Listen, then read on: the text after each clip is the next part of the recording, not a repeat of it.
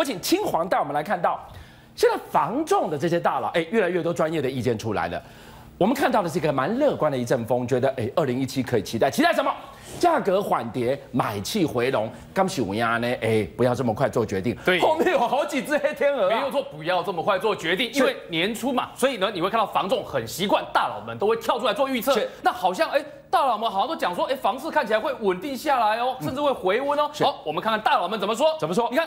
东升房屋的董事长王应杰说：“哎，今年的房市，他的讲法是说还会再修正一到两成的房价。是，但整体而言，他说长期来看，因为政府会解除信用管制，加上考虑年轻人购物需求，说，所以他做了一个结论，嗯，成交量会回稳。好，这个前提是量回稳，当然是期待的乐观结果。前提是什么？还要慢慢的缓跌，对，十趴到二十趴，让利才有机会回稳。没错。那你再看二十一世纪的董事长王府长他怎么说的？嗯，他的说法是说，哎。”政府为了维持市场价格，他说政府会主动维持房价哦，然后呢会提出减税的措施，所以呢他说今年呢可能会吸引足够的买家进场。等一下，这个前提会不会发生呢？可能很多人要心里要打一个问号。对他，我觉得他太乐观了。那啊，那你再看另外一位台湾房屋的总经理彭培业，他怎么说呢？哦，他更乐观哦。怎么说？他说房市不但落底，而且。还有很多的机会，言下之意是暗示说，哦，搞不好还有机会会涨哦。这个是三个我们觉得还蛮乐观的理由。那第四位永庆房屋，我们来看总经理他怎么说？哎，永庆房屋总经理怎么说呢？他说，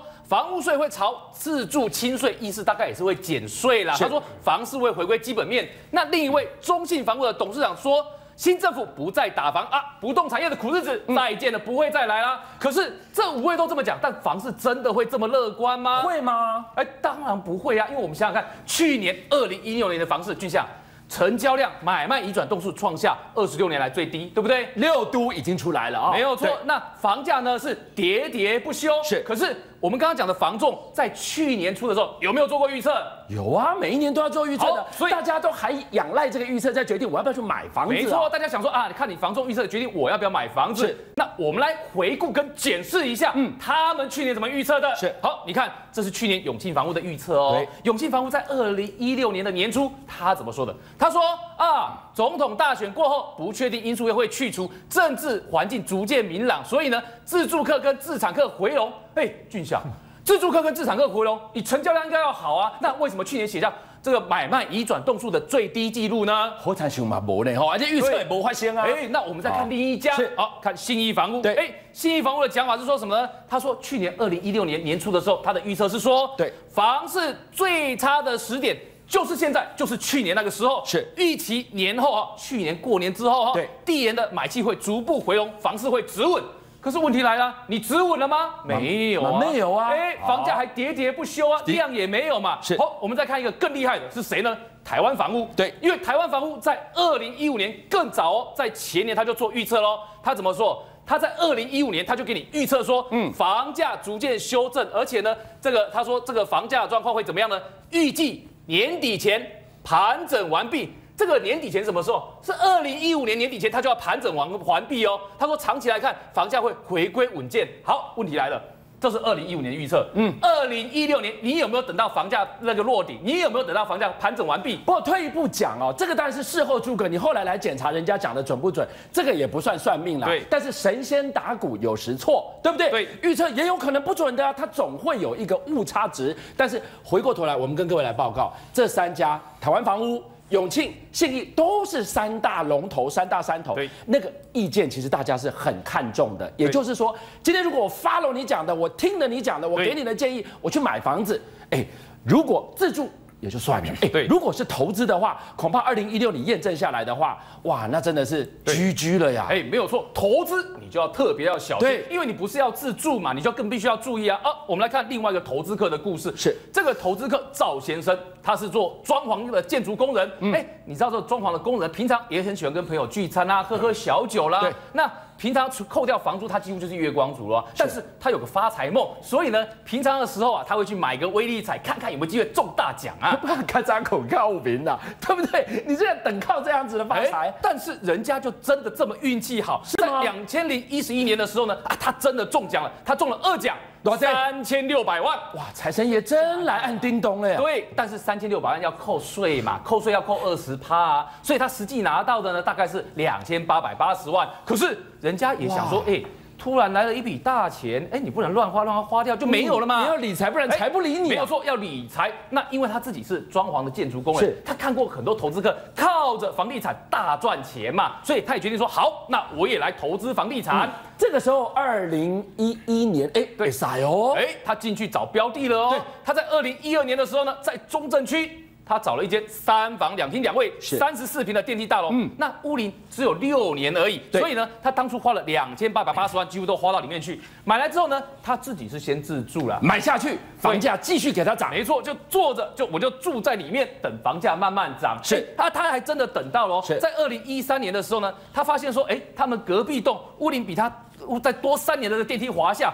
人家的差不多平数已经可以卖到三千两百万了哦！哇，安德这个话蛮要紧的。你从二零一一拿了那笔钱，然后二零一二进场，然后又一年过去，对，省了房租，又赚了房价呀。对，那你是不是应该要卖了吗？啊，很抱歉，卡到奢侈税，这个时候还不能卖。再等一年，哎，再等一年。对，到了二零一四年到的时候呢，哇，这时候不得了，这个房价，你看中正区涨到了这种一百零八点五万一平哦，哎，等于说当初扣掉的那个税金七百二十。十万的税金好像都赚回来了呢，是，所以这有什么难的？你看我等等过一年，一年又一年，房价就涨啊涨，再涨，我都已经等到二零一四了，到高点，我搞不好在等房价。哎，在，但是问题来了，在这个时候有一个人杀出来了，这个人叫什么呢？叫做专家。专家说什么？专家说，哎，二零一四虽然房价现在到高点，哎，看起来好像停滞了。是，专家告诉你说，哎呀，这个是短期的现象，是暂时的修正，以后还会涨，拜托你继续等。那。等是不等，但是我每次都是事后诸葛，看起来我们在觉得赶快卖呀，卖在高赵先生想说，专家都这么讲话，很有参考价值，我当然继续等啊。所以赵先生一路等过了二零一五，等到了二零一六的时候呢，哎，有买家来找他说，哎，我用三千万买你的房子好不好啊？等一下，三千万的话什么概念？已经折下来了，你知道吗？对，已经下修了。可是。你去对比二八八零，有赚是有赚一点点哦。赵先生当然想说奇怪了，哎，之前不是曾经到三千二甚至三千六更高的位置吗？怎么现在哎只剩下三千万位置？对呀，他已经开始觉得怪怪的，不太对哦。哎，去问了房仲之后，哇，怎么房价好像已经开始修正，而且基本上房市涨不上去了？哎，结果没想到到了去年十二月的时候。他的同一栋大楼社区里面呢，掉到每平只剩下七十四万啊！哇，你那以后七十四万的话，你给他，他当初买的价格可是一平八十五万哦。七十四万的话，等于是赔多少钱？一平赔十一万，三十四平他要赔三百多万呐！我给你。搞赵先生空气酷威，自助没有差，反正这些是财神爷送给你的，又不是去跟银行借来的钱。自助是没有差，对，但是看到可以赚赚不进来的钱会心痛啊。好，清华讲到这个地方，来十位来跟我们说说看。今天我们一开场，我们告诉你，房仲大佬他们看到了乐观的理由，他说买气慢慢会回笼，但是都有前提。价格要缓跌，你看王英杰董事长说可能还要再跌两成，你怎么看？你知道吗？早知道赵先生就去买那个卖摩吉那个股票，刚刚蔡蔡总不是讲吗？卖摩吉那个短短时间就赚了快三倍耶，三倍耶，然后现在还在亏，然后舍不得降什么的，就是呃。全部的房仲只有王应杰董事长讲的是对的，他讲的是说，如果今年要落地的话，至少降一点啊，我们忘记那个一，我们记得是两成。如果说今年降价两成，房地产才有可能落地，这个是对的，因为今年急降两成嘛，所以其他的房仲都不用听，尤其是那些去海外的，像什么二十一世纪啦，呃，台湾房屋啦，在海外断羽而归来回来台湾，然后来跟民众讲说，哎呦，明年呃今年会好，你觉得你要相信吗？